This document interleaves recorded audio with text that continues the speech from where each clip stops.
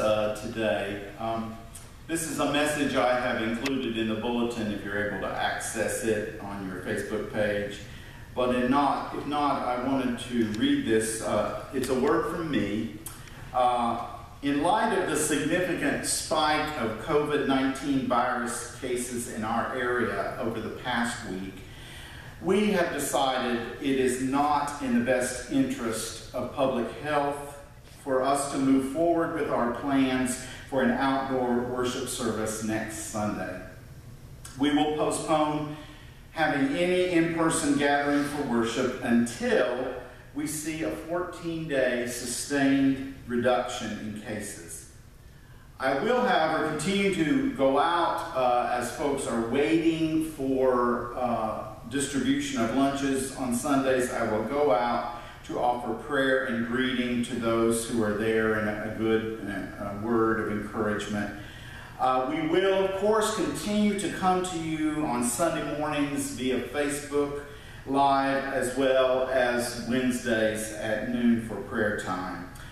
Uh, I miss you all so much, and it is so hard to maintain this uh, particularly as we see other churches beginning to reopen, not all though. Um, but I remain quite firm in my conviction that these decisions are completely in line with the instructions of Jesus that we are to love our neighbors as we love ourselves. So I, I say that to you to ask for your ongoing patience. You have been very patient. I am available via my phone. Please, if you have a need, contact me. Uh, but at this point, uh, given what we see happening as more and more things have opened, uh, it is not my feeling that the responsible thing to do would be to have folks gather.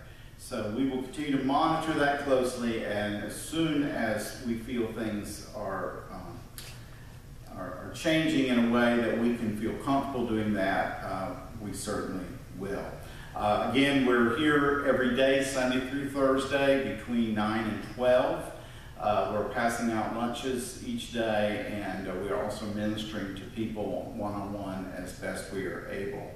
Um, so uh, I hope you have a, a safe and uh, fulfilling week ahead of you.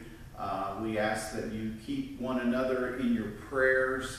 Uh, I did find out this morning that our brother here at South Main, uh, Tyrone Blocker, has been admitted to the hospital. I ask you to continue to remember our sister Bobby Sickler, who is in a uh, nursing uh, or a um, assisted living facility in uh, in Georgia. Uh, please pray for um, our St. John's Church family and all who loved her in the loss of Fran Pinson, their longtime organist and also an someone who uh, assisted at Anderson University.